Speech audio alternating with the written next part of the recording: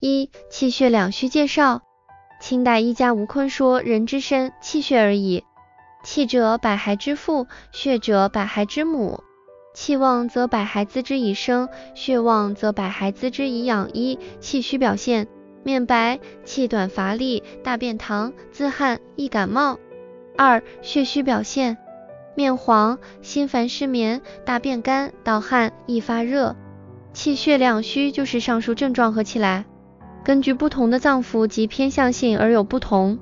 病位在心，以心悸气短、睡眠障碍为主；病位在脾，以食欲不振、腹痛袭按为主；病位在肝，以情绪失常、胸胁疼痛为主。二、药物介绍代茶饮，一个代茶饮：人参三克、白术三克、白芍三克、茯苓三克、黄芪六克。川芎三克，熟地三克，当归三克，肉桂三克，甘草三克。人参、黄芪、白术、甘草补气，当归补血，白芍益阴。熟地填精，肉桂助阳，气血阴阳全补。人参、熟地补五脏，黄芪入肺，白术入脾，白芍入肝，肉桂入肾，当归入心，肝心脾肺肾全补。百骸滋养，息症可除，当可味全。使用注意：一、泡茶，沸水冲泡，十五分钟后温服，每次连喝两杯，一日两次。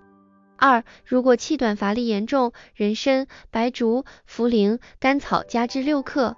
三、如果心悸口干明显，川芎、熟地、当归、白芍加至六克。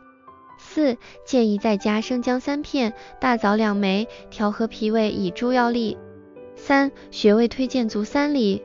脾胃为气血生化之源，脏腑正常运转依赖气血，所以胃为五脏六腑之海，补气血就得补脾胃。足三里在胃经之上，是补虚强壮的保健药学，可以自己点按，每次五分钟。建议用艾灸进行温热刺激，十五到二十分钟。效果更佳，能够鼓舞气血生长。四案例分享：足三里是保健强壮的药学。孙思邈说，若要安三里不长干，这说的是化脓灸，因为这种会留有疤痕，所以现在都用温和灸、温针灸、针刺代替。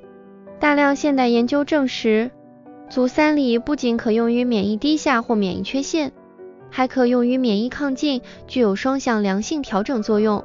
比如针刺足三里可以提高血清中免疫球蛋白，增加抗体形成细胞数，这对哮喘、乙肝患者有治疗作用，还能使恶性肿瘤患者常规化疗所致的白细胞、红细胞、血小板减少症大大改善，甚至戒毒措施针灸效果优于常规西药疗效。针灸针髓里有云：三里养先后天之气，灸三里可使元气不衰，故称长寿之灸。民间俗语更有拍打足三里胜吃老母鸡的说法，更有人总结说三里有白术之强、贵妇之热、参茸之功、消黄之力。大家仔细品一品，这一次转换过来就是十全大补汤吧。